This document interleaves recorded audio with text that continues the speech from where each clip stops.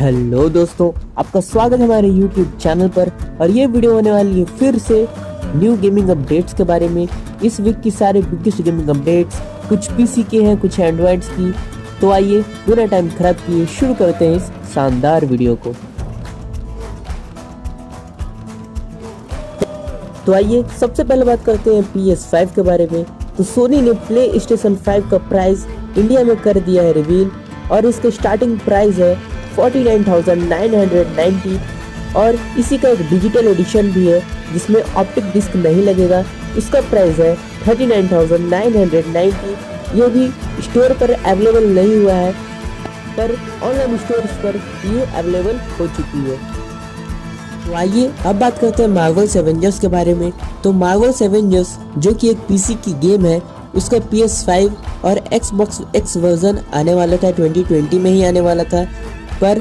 अब वो 2020 में नहीं आएगा और 2021 तक वो डिले हो गया है।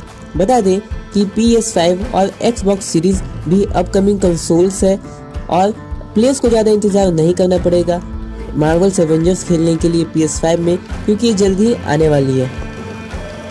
तो आइए अब बात करते हैं अटारी के बारे में। तो अटारी जो कि एक बहुत पुरानी गेमिंग कंपनी है, वो अपने खुद के कंसोल्स बना रही थी, जिसका नाम था अटारी वीसीएस बता दें कि अभी तक मार्केट में आई नहीं है, पर अटारी ने कहा है कि इस कंसोल्स के साथ वो एक न्यू क्रिप्टो करेंसी भी लाने वाले हैं, जो कि बिल्कुल बिटकॉइन की तरह होगी, और इस क्रिप्टो करेंसी से प्लेयर्स गेम में अलग अलग स्टफ्स खरीद सकते हैं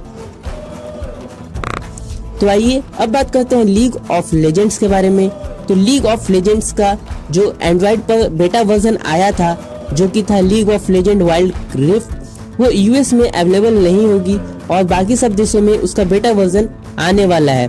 तो आइए अब बात करते हैं एक्स बॉक्स के प्राइस के बारे में, जो कि इंडिया में आ चुका है। तो एक्स बॉक्स का इंडिया में प्राइस है थर्टी टू थाउज़ेंड के आसपास, यानी ये रुपीज़ में है। तो थैंक यू अगली वीडियो में मैं फिर से मिलूँगा।